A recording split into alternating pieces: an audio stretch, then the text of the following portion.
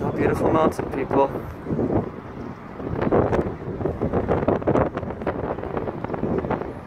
Nothing much happening now. Just a big blanket of um, yeah, of smoke and uh, everyone's upset.